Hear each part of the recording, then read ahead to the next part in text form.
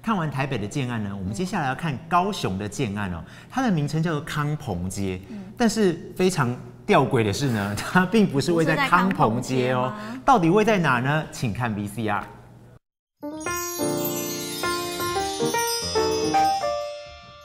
住家旁啊，如果大专院校，屋主不但可以自住，也可以出租给学生，乐当包租公跟包租婆。今天今天抢先看为大家介绍的是高雄市龙头建商成养建设集团所推出的大楼案康鹏间。该案呢基地正对文藻外语大学，然后它因为它旁边呢有爱河行经，所以它不但兼具了河景。也有校园景观双重机能。大楼位于车流量大的民族一路，民族一路六百四十七巷属爱河上流支线，可同时看到校园与爱河景观。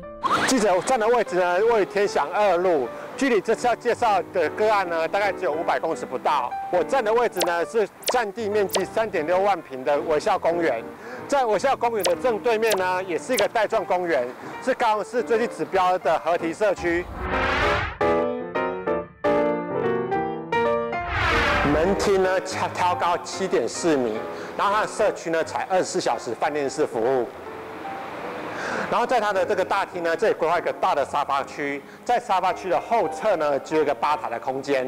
然后呢，基带是四百七十二平，然后它的球力设施呢比较简约，它把所有的空间呢集中在这间多功能使用室。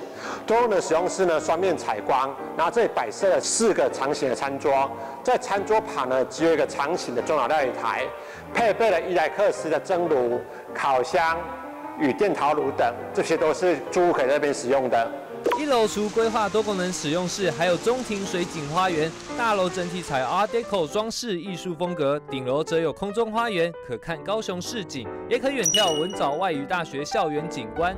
社区规划一栋大楼分成 A、B、D 三区，A、B 区单层两户共用一部电梯，A 区规划三十五、三十七平三房，B 区为四十五、五十二平四房，D 区单层三户两部电梯。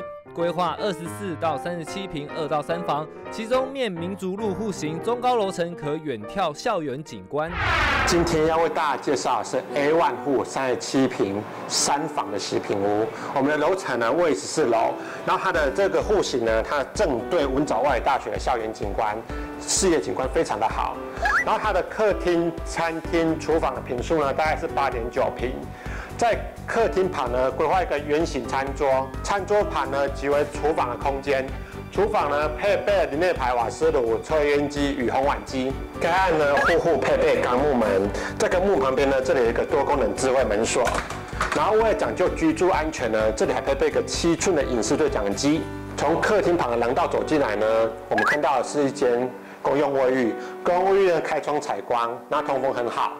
在廊道的尽头呢，我们来到了五点六平的主卧。主卧呢，它开大面窗，窗外呢是文藻外语大学的校园景观。然后我们看到的这个主卧铺设的木质地板为装潢，它的标准配备呢是抛光石英砖。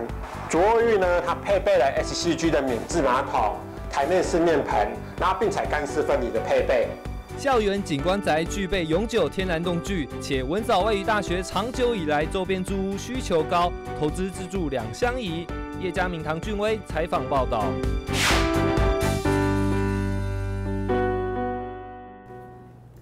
接下来我们要看到的是，就是搞笑的 Michael 哥，他有一个推出工地小教室的单元。这次要告诉大家的是，就是如果你们家旁边有工地的话，要如何先现况鉴定自保哦。那再次提醒观众朋友，本周六见报的这个苹果日报地产王的这个周刊呢，呃，你就可以看到说哈，封面的主题呢，就是我们今天这一集所讨论到的南港七月份。